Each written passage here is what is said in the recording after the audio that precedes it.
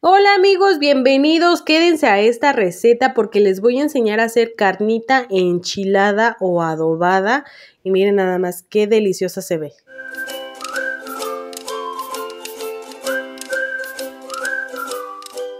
Y primero vamos a empezar aquí en el sartén. Vamos a agregar un poquito de aceite, ya saben.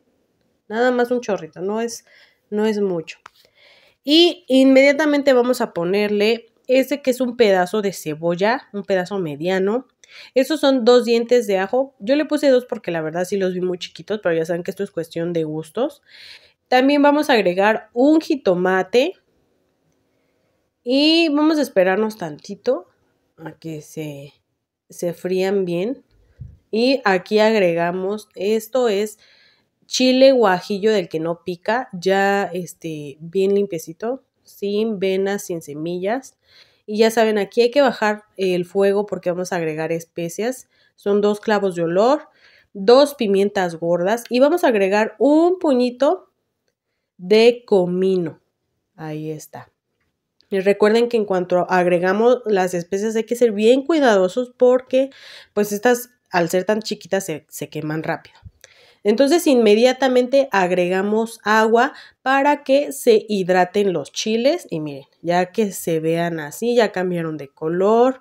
Obviamente su textura ya también es, están mucho más blanditos y están perfectos así. Ahora vámonos a la licuadora.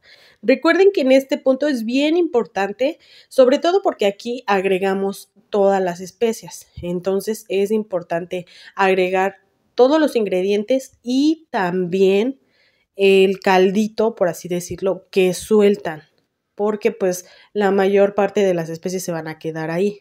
Entonces hay que agregar todo y todo. Miren, es lo que les decía. Ya agregamos todo. Ahora sí, ahí va el caldito, ¿eh? sin tirar, ¿eh? Ahora sí no tiré nada. Ahora sí. Entonces, aquí ya nada más vamos a agregar un toquecito nada más de orégano, miren, ese es un poquito nada más, ahí está.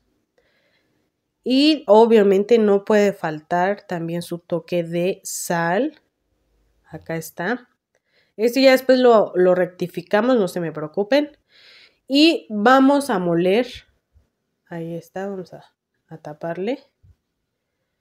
Vamos a taparle bien porque no queremos aquí ningún accidente. Recuerden que esto está caliente.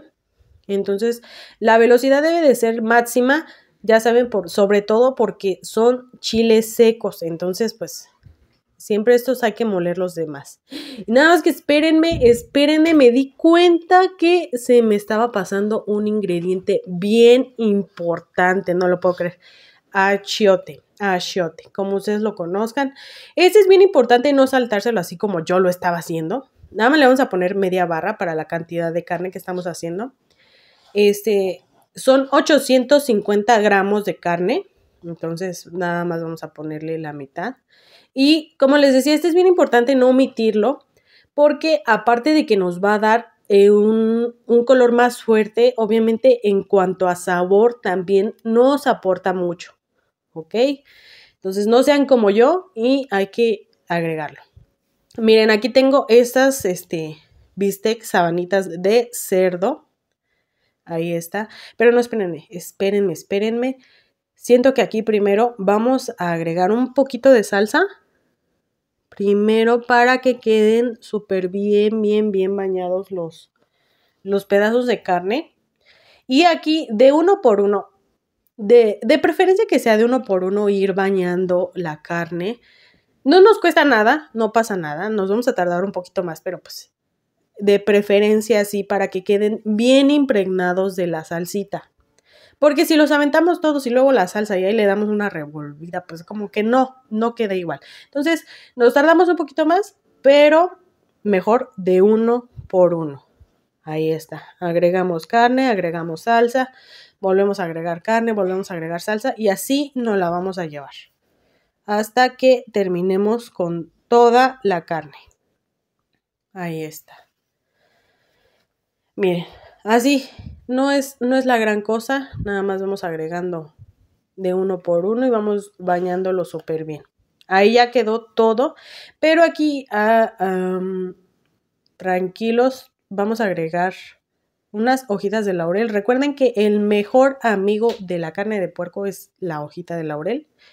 Y ya que están así, vamos a llevarlo al refrigerador. Por lo menos una hora, por lo menos. Yo la verdad sí lo dejé como tres.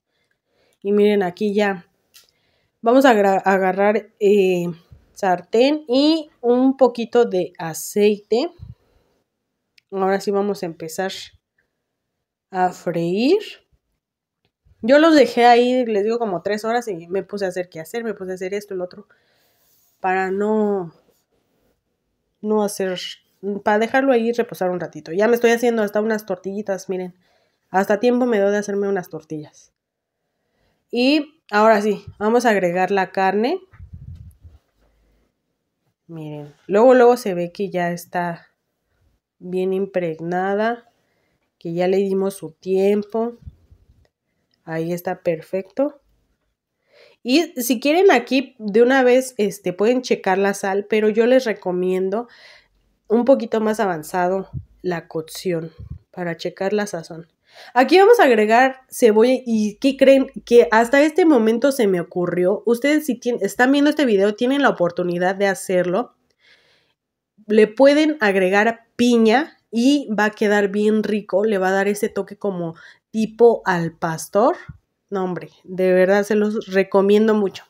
Aquí les digo que ya está un poquito más avanzada eh, la cocción y aquí sí hay que checar qué tal va quedando de sal. Yo siento que sí le quedó corto, entonces por eso le agregué un poquito más. Y ahora sí ya nada más hay que esperar a que quede este, pues a tu gusto, a mí me gusta bien doradita la carne, entonces aquí ya nada más es cuestión de que quede a tu gusto. Y ya nada más es cuestión de esperar que quede a tu gusto. Y pues ahora sí llegó el momento de probarlo. Yo ya me lo preparé con cilantro, cebolla y un toque de limón. Ahora sí, provechito. Mm. Les mando un beso. Muchas gracias por ver mis videos. Bye.